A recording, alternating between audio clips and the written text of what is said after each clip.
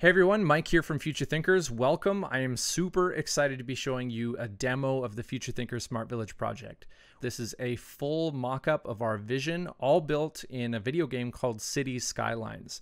Uh, this video game has been a huge help because it has a massive modding community, hundreds of thousands of assets that we've been able to use to build out this smart village.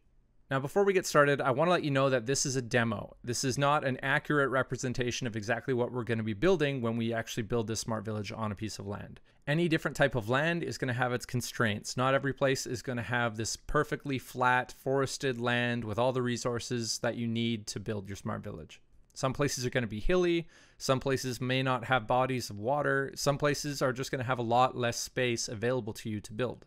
So keep that in mind as we go forward through this demo. This is just a concept. Now, the first thing you're going to notice when you first come into the smart village is this gigantic geodesic dome at the center of the village. I love the idea of having a center of focus at the middle of the village that is all built around a campfire. In human history, it's always been the campfire. That's where people gather to tell stories, to hang out, to chat. And I love this idea of being anywhere in the village and seeing a fire lit up in the center and knowing that people are gathering, stuff is happening, and it's time to go there and socialize. I also really love this idea of colored lights on the surface of the dome that change color depending on what the intent and the, the use of the dome is for that day. So at some sometimes a day you might have co-working. This might be through the morning and afternoon. In the evening, you might have a party, so the light might change on the outside to indicate that. Maybe when special events happen, we'll put on a special color to indicate that something cool is going on there. Another thing you're probably going to notice is how integrated into nature the entire village is. We really want to adhere to the principles of permaculture, and that means being able to produce our own food, produce our own electricity, manage our waste, and be fairly independent from centralized grids. And that doesn't mean that we're an island and that we don't interface with other communities or cities. It really just means that we're self sufficient. So, one cool thing you're going to notice as you go through the village is there are all types of different dwellings. There are earthships, prefab homes, A frame cabins, geodesic domes. And the idea that we love the most about these types of dwellings is that they can be low cost, they can be sustainable, we can actually produce a lot of the materials for them on the premises. So I'm a huge fan of this idea of recycling trash using discarded tires to build earthships, uh, growing hemp, a sustainable material to be able to build hempcrete and hemp bricks, which is an excellent material for fireproofing and for insulating.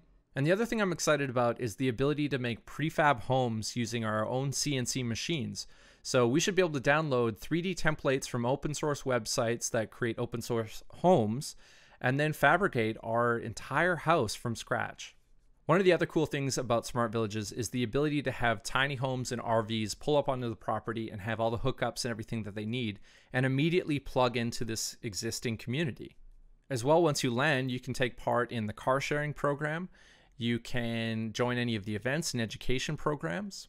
You can help with the permaculture farming and you can make a lot of friends and do co-working in anywhere in the village. So this is another thing I'm really excited about. I've been a digital nomad for probably 8 years, and since I'm a person who has to spend about 8 to 12 hours in front of a screen every day, I like to have different environments to work in. So we've kind of built that into this whole smart village idea. We can have picnic tables out in the middle of the forest where you can work from and get Wi-Fi. You can work in a geodesic dome. You can work from the lakeside. You can be in a cafe so you can grab a coffee, get some Wi Fi, and get some work done.